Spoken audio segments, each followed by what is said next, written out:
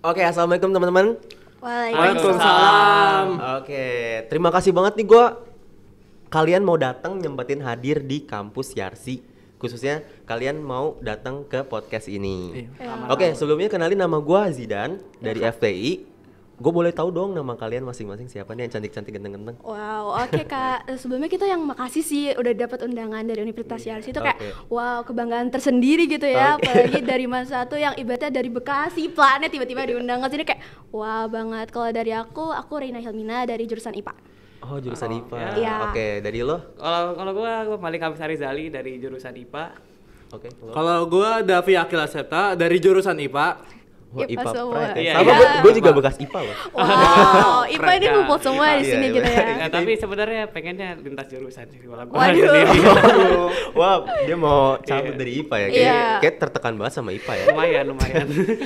Oke, oke teman-teman di sini gue mau bahas bincang-bincang sedikit tentang jurusan kalian yang udah tadi dikenalin di lantai 12 yang udah didemonstrasiin Ya. mengenai jurusan DRC. Hmm. Nah, teman-teman di sini ada nggak sih ketertarikan buat masuk ke jurusan yang udah didemonstrasi tadi? Boleh dari mulai dari co-hostnya dulu nih. Oke kak, kalau dari aku pribadi sih, wow, kayak nggak ada sih kalau bisa dibilang jurusan DRC yang nggak pengen aku masukin saking tertariknya dengan presentasi tadi semuanya.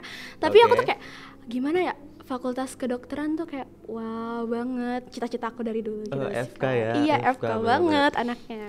IPA ke FK nyambung banget gak sih? Iya, makanya aku ngambil IPA salah satunya sih itu sih kak. biar bisa masuk Kedokteran, iya, betul, Mantap, iya. mantap. Kalau lo nih, Kalau gua sih kan dari awal tuh tertariknya selalu sama psikologi ya. Jadi ya Mhm. di semua universitas mau yang negeri mau yang swasta gue pasti daftarnya psikologi. Di sini juga tadi termasuk sih psikologi karena ya emang udah kayak panggilan hidup gitu rasanya sih gitu sih. Panggilan hidup Iya, ya. Tapi kan kalau psikologi kan harus lintas jurusan juga. ya. Jadi, iya benar-benar. Jadi setiap eh, kayak jurusan-jurusan yang benar-benar prestis gitu ya bisa dibilang ya kan. Iya. Itu ada ada tesnya sih gitu. Hmm. Tapi IPA ke psikologi juga agak masih nyambung, Nyambung ya. Karena kan ya? ada beberapa universitas juga yang saintek juga. Ya, yang ya. buka jurusan Ya, IPA ya. Oh, jadi psikologinya di bawah saintek. Iya, betul. Tapi Oh. sedikit cuman ada dua ya kalau di Pulau Iya Jawa. betul, ya di Pulau Jawa ada dua. Cuma dua Cuma doang. dua, Ya. sisanya sosum. Ya, Jadinya mayoritasnya kan psikologi sosum gitu ya. kayak mayoritas psikologi harus linjur ya.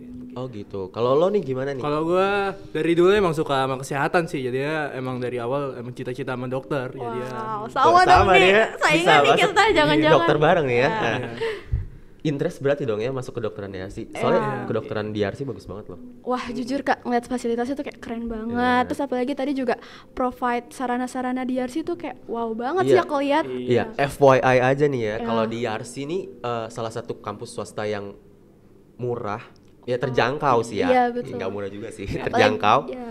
Terus juga di sebelah gedungnya langsung Iya, ada Iya, Bisa iya, langsung iya. Jadi Iya. bisa langsung ujian praktek di Iya, samping. kita, Iya, kampus kita juga punya rumah sakit sendiri Betul, gitu. iya, Terus juga fasilitas dan perlengkapannya benar-benar kece banget gak sih? Iya betul. Kayak hotel. Setuju setuju banget Iya itu kan? Ya. Kalian gak bakal nemuin fasilitas kayak gini di kampus lain sih. Iya. Betul, aku kayak gitu ada. ngeliat tadi ada rumah sakitnya kayak wow enak banget anak Iya, kedokteran sini tuh kayak udah tinggal join Iya, aja gitu ya bener, kan, bener, tinggal bener, kayak loncat gedung gitu kan Iya, di sebelah bener, bener. banget. Berarti Ya. sebagian besar dokter situ dari RC apa bagaimana? Eh, anak-anak fakultas kedokteran bisa koas di Hmm. eh, rumah sakit RC itu sih. Keren banget sih. Iya, kita selain juga punya rumah sakit, Jarsi itu juga punya klinik, punya rumah sakit gigi dan Wow, mulut. Kayak- lengkap banget sih Iya, harusnya kece ya. banget bisa Ya, diadu nih. bisa-bisa. Kemampuan eh, kampus kita nih cukup bergengsi juga di kancah nasional. Oh iya, YRC ini kan juga salah satu kampus yang swasta tapi keren banget. Iya. Kita juga ada kerjasama juga sama kampus-kampus luar negeri. Oh. Ya, kayak khususnya eh, ini Fakultas FTI kita eh, akreditasinya A. Jadi insya Allah nanti eh, pertengahan tahun ini ataupun mungkin tahun depan kita ada akreditasi nas- internasional. Wah, keren banget sih RC. Iya. Aduh. Jadi, biasanya kalau internasional gitu bakal ada yang uh, student exchange gitu kan bias- atau gimana? Eh, next stage. Uh, student exchange. exchange. Oh iya, ngomong-ngomong student exchange, Yarsi juga ada student exchange. Jadi eh, beberapa bulan yang lalu teman-teman gua baru banget balik dari pertukaran mahasiswa Di mana tuh, Kak? di lintas Pulau Indonesia. Wah, keren banget Iya. gak sih? Seru banget. Itu eh, program pertukaran mahasiswa merdeka PMM. Oh iya iya tadi iya, aku ya dengar. Selain di Indonesia, kita juga ada pertukaran ke luar negeri. Iya. Iya. Tadi saya sempat lihat posternya ada yang ke Thailand, Universitas Thailand. Iya, ya? bener, bener. Iya, Iya. benar benar benar Eh, benar. Selain ke Thailand juga eh, ada yang ke Malaysia, ada yang ke Hmm. Spanyol kayak gitu. Jadi Yars itu mulai mau menuju ke kampus yang go internasional kayak gitu. Kayak benefitnya banyak banget gak sih? Bener banget, bener kayak banget. Nggak cuma jadi mahasiswa doang, tapi juga kayak sekalian gak sih keluar-keluar Iya. negeri, terus kayak Iya. dapat ilmu baru juga. Iya benar benar benar. Terus murah lagi jangan lupa ya. Ya. juga. Iya benar benar. Eh. Ngomong-ngomongin murah, di sini juga ada yang namanya beasiswa. Jadi kalian nggak perlu worry sama yang namanya biaya. Kayak yang tadi udah jelasin. emang Gimana juga cara dapat beasiswanya? Oh, kalian mesti bisa mendaftar ke beasiswa kuliah Merdeka KIP. banget. Oh yang KIPK itu ya kayak. Iya, iya. Oke teman-teman, kayaknya udah cukup banget nih kita bincang-bincang Betul. mengenai Betul, tujuan kalian masuk kampus mana dan sharing-sharing kalian juga yang benar-benar keren banget sih. Ya. Terus juga gue mau ngucapin terima kasih kalian udah mau datang, nyempetin datang dan ngisi di podcast ini. Oke. Iya, sama sih kak. Oke. Saya terima kasih kembali kak. Oke, Oh, sekian ya teman-teman. Gue ngucapin terima kasih, sampai ketemu nanti lagi.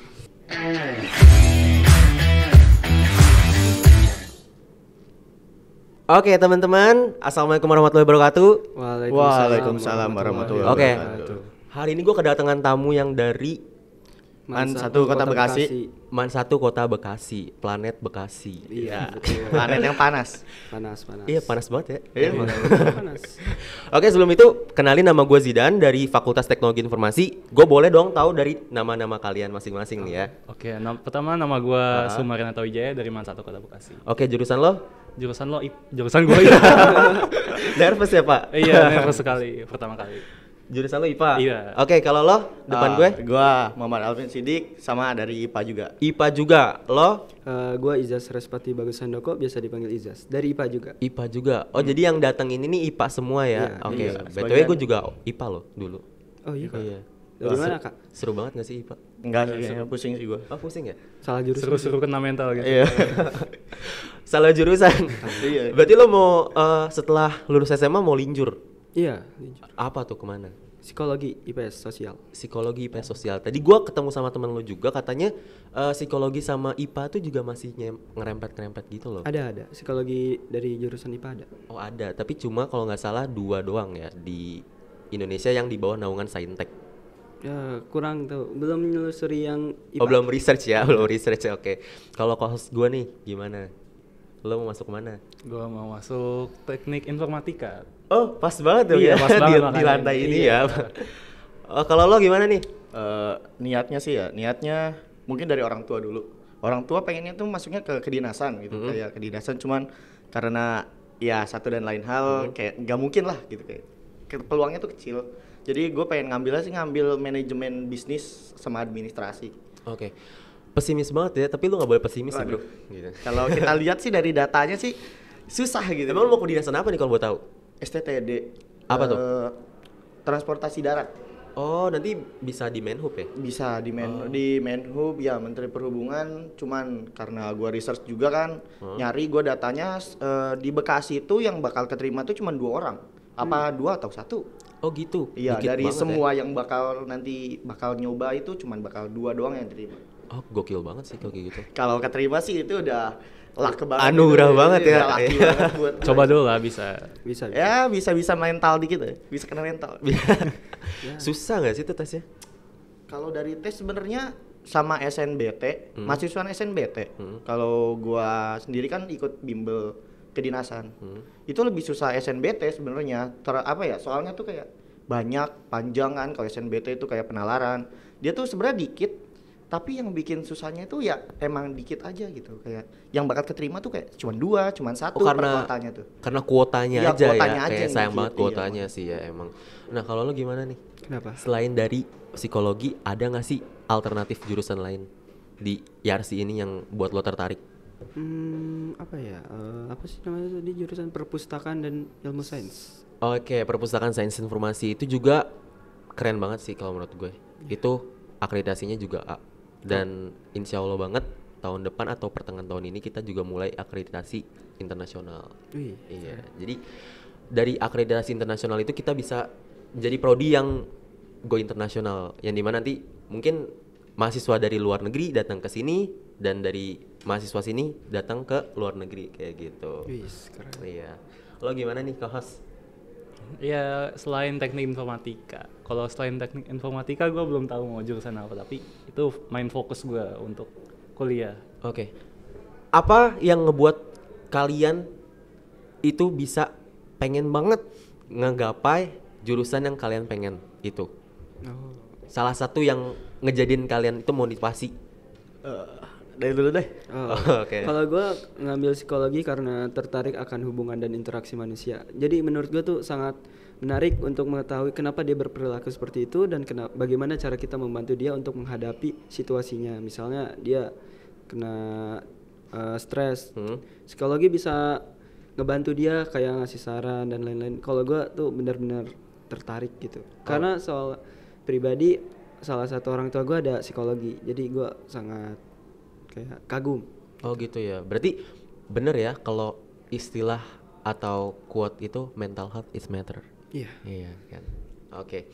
Kalau lo gimana nih? Gua sih ya, kalau gua kan pengennya ngambil bisnis tadi manajemen bisnis ya kebetulan gua tuh kuliah bukan buat kayak orang, mungkin orang kebanyakan kuliah itu dia eh, buat kerja ya kan, kayak orang ngambil misalnya administrasi itu buat kerja gitu. Kalau gua lebih ke buat nyari ilmunya aja. Gue tuh sebenarnya nggak terlalu pengen gitu kayak kuliah tuh nggak terlalu pengen kayak buat kerja. Gue tuh sebenarnya pengen buka usaha sendiri gitu. Oh jadi lo mau Iya lo mau jadi businessman. bisnismen gue pengen Gokil. jadi entrepreneur cuman gue juga pengen kuliah buat ngambil ilmunya ini supaya bisa gue terapin gitu di bisnis gue Keren banget. jadi ya gue pengennya sih mulai-mulai startup lah usaha-usaha kecil-kecilan. Siapa tahu sambil kuliah bisa maju gitu. Lo udah mulai usaha dari sekarang berarti? udah kemarin sih gue sempat buka beberapa rentalan-rentalan gitu. Rental apa tuh? rental kostum cosplay. Cuman karena ya satu dan lain hal. Jepangan dong. Ya? iya di Jepangan ya wibu. Karena satu dan lain hal gue berhenti gue jual semuanya. Tapi udah mau lanjut lagi? Ya mungkin nanti sambil kuliah gue mau nyoba buka beberapa usaha-usaha kecil-kecilan lah. Keren banget sih emang kalau sambil kuliah sambil usaha gitu atau sambil kerja kalian bisa ngelebarin sayap kalian, relasi Iya. kalian buat kalian bisa lebih baik lagi gitu. Oke, teman-teman, terima kasih banget dan sekian aja podcast yang bisa kita bicarakan hari ini gitu. Oke, terima kasih banget kalian udah mau nyempetin datang terutama di ruangan podcast ini dan kampus Yarsi jauh-jauh dari Bekasi ya kan.